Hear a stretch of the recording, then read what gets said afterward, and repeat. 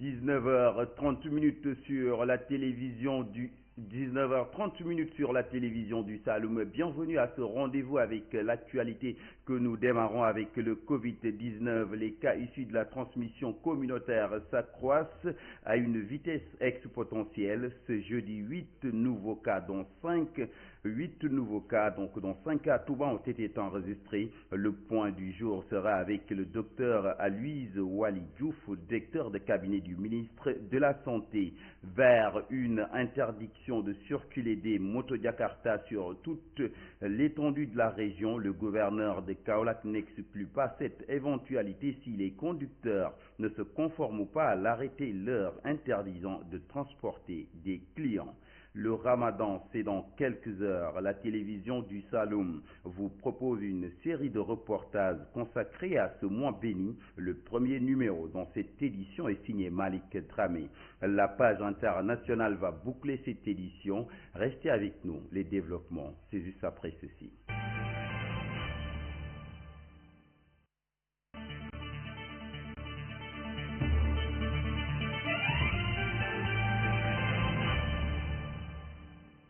Rendez-vous avec l'actualité que nous démarrons avec la situation épidémiologique de ce jeudi 23 avril 2020 sur les 387 tests réalisés, 37 sont revenus positifs.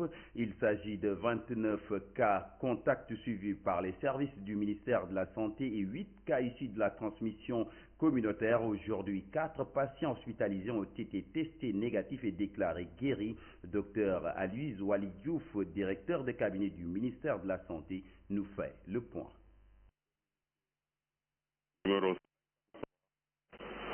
Jeudi 23 avril 2020. Le ministère de la Santé et de l'Action sociale a reçu les résultats des examens virologiques ci-dessous. Sur 387 tests réalisés, 37 sont revenus positifs. Il s'agit de 29 cas contacts suivis par nos services, 8 cas issus de la transmission communautaire répartis comme suit 5 à Touba, 1 à Mbake, 1 à Tivawan et 1 à Kies. Quatre patients hospitalisés ont été contrôlés négatifs et donc guéris. Aucun cas grave n'est à ce jour à signaler. L'état de santé des patients hospitalisés est stable. À ce jour, 479 cas ont été déclarés positifs, dont 257 guéris, 6 décédés, 1 évacué et donc 215 sous traitement. Le ministère de la Santé et de l'Action sociale exhorte les populations au respect strict des mesures de prévention. Ils ont une semaine pour s'amender et respecter les mesures édictées par le gouverneur. C'est un avertissement du chef de l'exécutif régional de Kaolack adressé aux conducteurs de moto Jakarta sommet de ne plus prendre de clients à bord. Alune Badara Manga a tenu ses propos à l'issue d'une visite inopinée dans le dispositif de contrôle tenu par la gendarmerie dans le département de Guinguinéo. Le gouverneur de Kaolack, Alune Badara Manga, est au micro de Al Ousseinou Diagne. des Jakartamen. Parce qu'on a reçu aussi des informations selon lesquelles il y a des Jakartamen qui, même au risque, au prix de leur vie, en exposant même les populations, acceptent, sous la complicité donc, de, des gens qui, qui montent à bord, acceptent de transporter des personnes en quittant Kaolok pour aller au-delà de certaines régions, mais surtout au nord du pays. Je viens et reçu cette information-là. Donc, je leur ai dit que quand même, euh, je leur ai donné une semaine après leur rencontre avec les autres administratifs. Je leur ai donné une semaine. Si au-delà de cette semaine, ces pratiques ne cessent pas, je prendrai un arrêté pour interdire la circulation des Jakarta sur l'ensemble du territoire de la région. Nous n'allons pas accepter quand même euh, que ces gens-là, parce que tout simplement voulant de l'argent, nous exposent. S'exposent et nous exposent. Ça, on ne peut pas l'accepter. Donc je crois que, euh, à bon entendeur salut, l'appel a été lancé. Et je crois qu'il y a déjà même des bonnes volontés qui se sont signalées à Kaolak pour dire qu'ils vont leur parler euh, parce qu'ils se sont organisés en association, ils se sont organisés en arrêt, les arrêts même Jakarta. On dit non, donc on les connaît. Donc il y a des bonnes volontés déjà qui sont engagées pour leur parler. Mais si après, malgré tout, les rencontres avec l'autorité administrative, les préfets, les sous-préfets, les rencontres avec les bonnes volontés, si malgré tout, d'ici une semaine, ce phénomène ne change pas, j'interdirai la circulation. Restons toujours à Kaolack où les chauffeurs de taxi se plaignent de la situation qui prévaut dans leur nouveau site d'implantation insalubre, même si des mesures sont prises comme le port obligatoire de masques.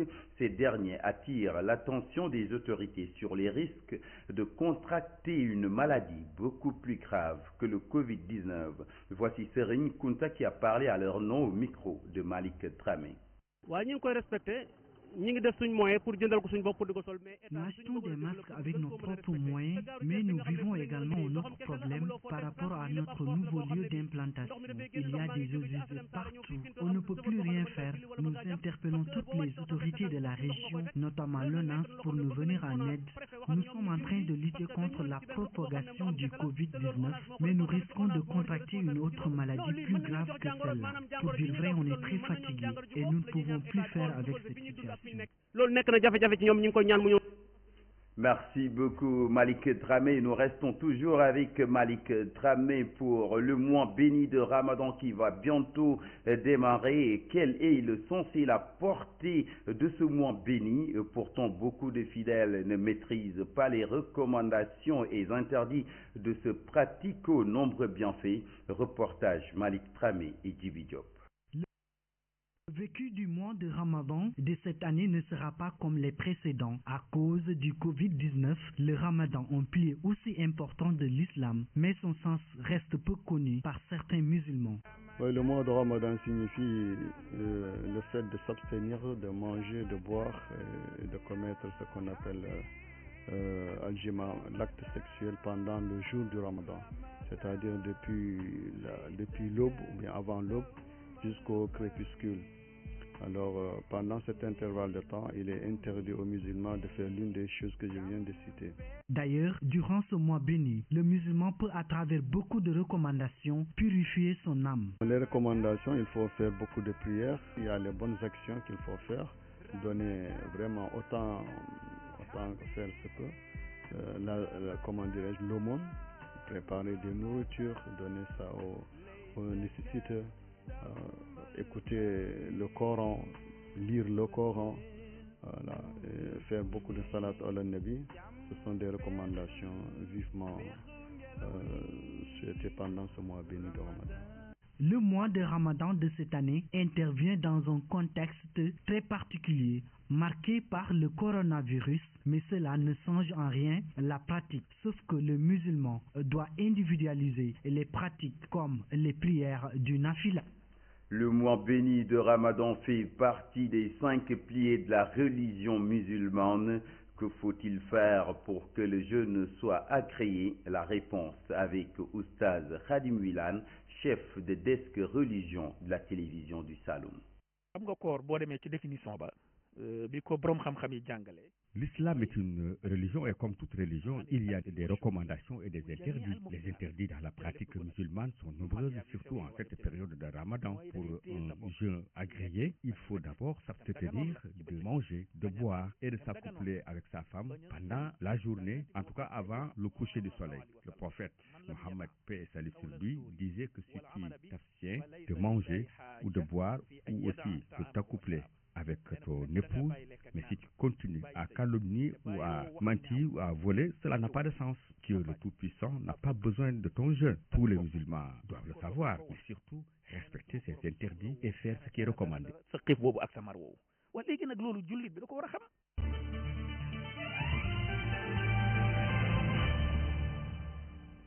Et maintenant, 50 millions de personnes sont menacées par la famine.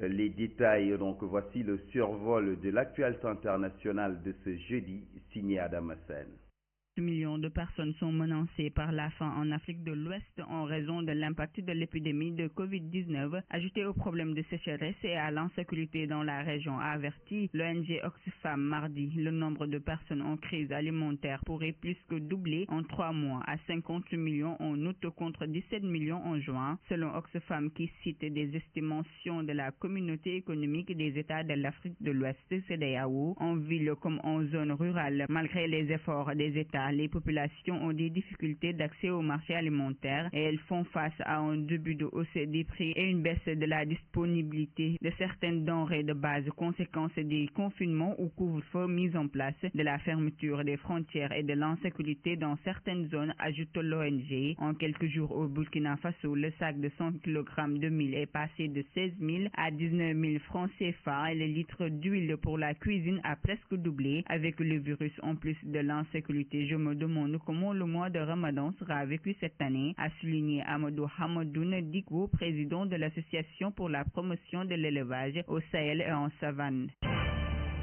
L'allègement des mesures de confinement se fait progressivement dans certains pays européens, comme l'Espagne, mais le directeur général de l'OMS prévient que l'épidémie de coronavirus est loin d'être terminée. En Espagne, le confinement de la population a été prolongé jusqu'au 9 mois inclus. La décision des autorités a été approuvée ce mercredi soir par les députés. Le pays est soumis à ce confinement depuis le 14 mars. L'Espagne est le deuxième pays européen le plus touché derrière l'Italie, mais le nombre de décès au coronavirus, 21 717 semblent se stabiliser, d'où un début d'allègement des mesures de confinement. À partir de ce dimanche 26 avril, a indiqué le chef du gouvernement espagnol, nous proposons de permettre aux enfants de moins de 14 ans de pouvoir sortir tout étant accompagnés par un adulte. Le confinement général ne sera levé que lorsque nous serons prêts, car nous ne voulons pas risquer de retourner à la situation douloureuse que nous avons traversée.